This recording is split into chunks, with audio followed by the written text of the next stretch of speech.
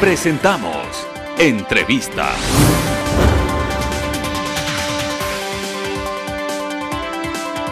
Son las 13 horas con 21 minutos. Este momento tenemos el gusto de recibir al señor ingeniero. Es Raúl Delgado, presidente de la Asociación de Municipalidades del Ecuador y alcalde de Paute. Dos temas, señor alcalde. Buenas tardes y bienvenido. El primero, la devolución del IVA y después hablaremos del tema de la cantonización de Paute y el tema de los carnavales. Empecemos por el primero. ¿Cómo va la devolución del IVA después del acuerdo que ustedes tuvieron con el gobierno nacional? Bienvenido. Bueno, muchísimas gracias. Un saludo cordial a todos los televidentes a lo largo del Ecuador. Eh, nosotros en el mes de noviembre, eh, la directoria de AME Nacional y todos los representantes de las siete regiones Habíamos acordado con el Ministerio de Finanzas eh, una metodología de devolución de alrededor de 280 millones de dólares que estaban pendientes por eh, los años 2017, 2018 y 2019 a los 221 municipios del Ecuador, de los cuales determinamos que los 152 municipios más pequeños puedan ser eh, devueltos en su totalidad en, diferentes etapas, para lo cual se hizo un depósito en el mes de diciembre, un depósito en el mes de enero, se ha hecho ya un depósito en, este mes y se terminará este mes definitivamente de cubrir el 100% de lo que está pendiente eh, para los 152 municipios más pequeños del país. Es decir, que se está cumpliendo el compromiso. Se está cumpliendo los acuerdos que habíamos eh, pautado entre la, eh, la directiva de AME y el gobierno nacional había 62 municipios medianos que tenían alrededor de, eh, se les hizo un depósito por 16 millones en el mes de, enero, el último se hizo por 9 millones, está pendiente 62 millones de dólares, de los cuales este día jueves vamos a reunirnos nuevamente en la ciudad de Guayaquil eh, y eh, firmar convenios a través de FINGAD, esta es una metodología que a través del Banco de Desarrollo los municipios presentan los proyectos en función de sus 14 competencias y pueden ser entregados estos proyectos financiados por el gobierno nacional por la falta de liquidez. ¿Los quedan, grandes? Quedan pendientes siete grandes. Siete grandes. De los cuales, eh, entre ellos está Quito, Guayaquil, Cuenca, Santo Domingo, Durán, que son uno de los municipios también grandes del país. Eh, ellos quedan, cada alcalde eh, tiene su particularidad de dialogar y llegar a acuerdos con, eh, el, directamente con el ministro de Finanzas. Muchos de ellos lo hicieron, e incluso a través de eso eh, han recibido subsidios adicionales para que puedan ser financiados algunos proyectos. En el caso de Guayaquil, puntualmente, la alcaldesa tomó la decisión de colocar un amparo constitucional, eh, en la cual el Ministerio de Finanzas tuvo que acoger ya hizo una sentencia y hizo una transferencia que complica al resto de municipios del país. ¿no? ¿Ustedes apoyaron esta acción de protección? Bueno, la alcaldesa nunca considera que existen más municipios a lo largo del país, no solo ah. Guayaquil, para ella no hay más.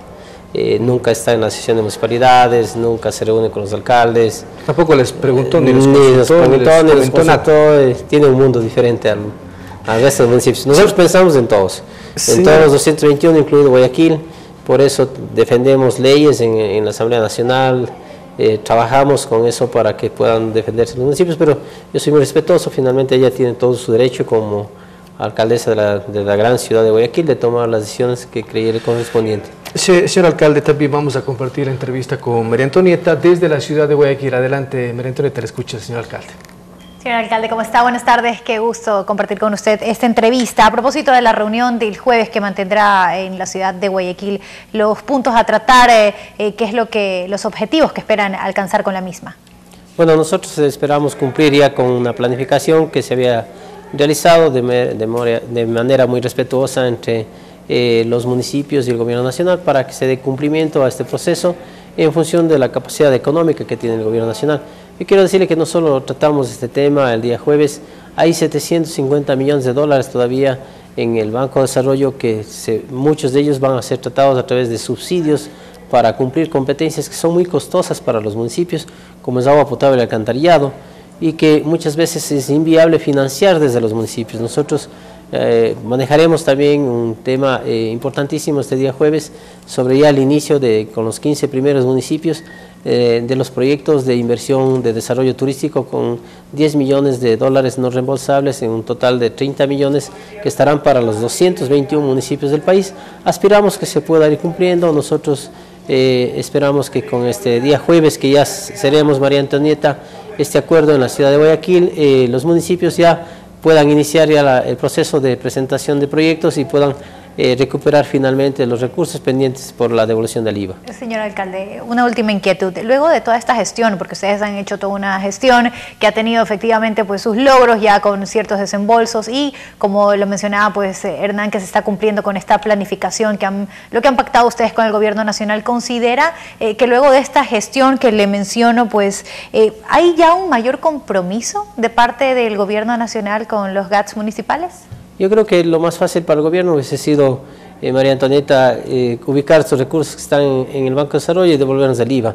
Eh, para nosotros los municipios somos muy dependientes del gobierno nacional, sobre todo municipios pequeños.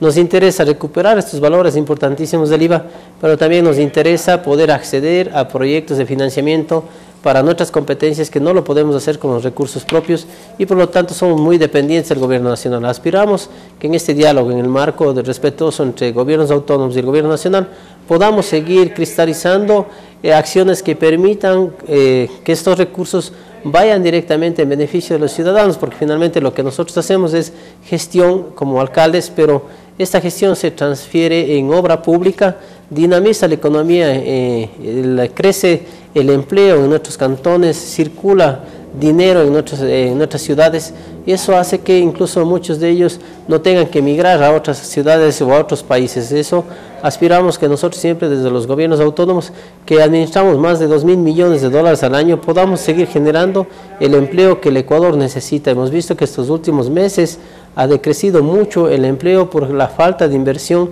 de parte de los gobiernos autónomos descentralizados a través de esta recuperación de los recursos del IVA, a través de estos recursos que podamos transferir desde el Banco de Desarrollo en diferentes proyectos, nosotros podamos seguir dándoles a nuestros ciudadanos el desarrollo que ellos aspiran, que se dinamice la economía, que crezca el empleo.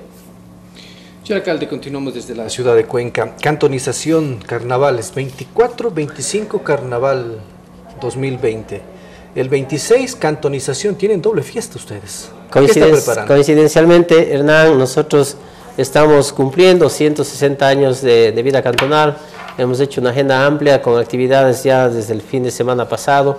Eh, Paute, eh, estos últimos meses se ha buscado por uno de los cantones que atractivos a deportes extremos, como automovilismo que tenemos este fin de semana, motocross, UTVs que pasaron el fin de semana y que se vienen también el Festival de Parapentes. Y eso hace que eh, la provincia de la SUAY vea a Paute como uno de los cantones de un destino turístico en estas actividades. Sin embargo, coincidencialmente tenemos un feriado de carnaval. Para nosotros ha sido un reto enorme tratar de buscar eh, ser un destino turístico del país, competir con ciudades como Ambato y Guaranda que tienen décadas de trabajo planificado para poder lograr eh, verle que estas ciudades siempre han sido destinos turísticos en este feriado carnaval.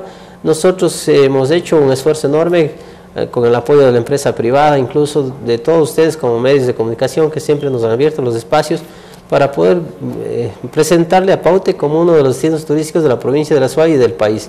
Para ello nosotros aspiramos del día 23, que es uno de los días más fuertes en el cual tenemos un show artístico en la parte del Parque Lineal, con un artista como eh, es Sebastián Yatra, que está eh, colombiano, colombiano, pero que a nivel mundial ha recibido Grammys, es uno de los artistas muy, muy cotizados del país. A propósito, tenemos, no sé si lo podemos mostrar, tenemos dos entradas para que ustedes puedan asistir, pueden llamarnos al 86-3904, las dos primeras personas se llevarán estas entradas, VIP, ¿no?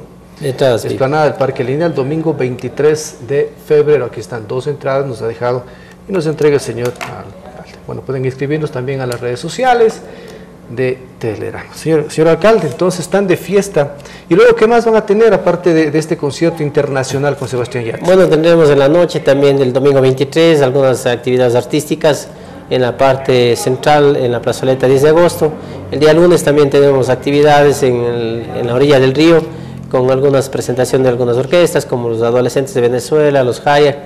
Y en la noche estaremos con los iracundos de Uruguay Jesse Uribe, que es una de las sensaciones que ha generado en el país, una gran eh, expectativa por verle a este artista también colombiano. Eh, finalmente nosotros estaremos cerrando con una orquesta también bastante importante como es Medardo. El día martes igual tendremos actividades a lo mm. largo de la orilla del río Paute. Este es un festival del río Paute, como le hemos denominado, decirles finalmente a ustedes, queridos ciudadanos, de manera particular de la ciudad de Cuenca, que son nuestros eh, comunes visitantes a nuestros cantones nororientales. Estamos a 45 minutos. A 45 minutos que estamos trabajando con toda la seguridad, con el señor gobernador, con la Policía Nacional, con la Comisión de Tránsito del Ecuador, con seguridad privada para que puedan acceder con facilidad hacia nuestros eh, cantones y disfruten sobre todo este carnaval. Y finalmente, Hernán, decirles también que estamos luchando por una campaña que quisiéramos que con usted, a través de los medios de comunicación, promovamos que controlemos el excesivo uso del agua y la carioca que ahuyenta a los turistas, que esa es, una de las cosas que queremos romper en Paute, que los turistas lleguen, disfruten sin necesidad de llegar y encontrarse con un tremendo baldazo de agua o Terrible, con la carioca en la vista. Eso es lo que ahuyenta a los, es verdad, Gracias. Agradecemos mucho al ingeniero Raúl Delgado, él es presidente de la Asociación de Municipalidades del Ecuador y alcalde de Paute. Pausa y volvemos.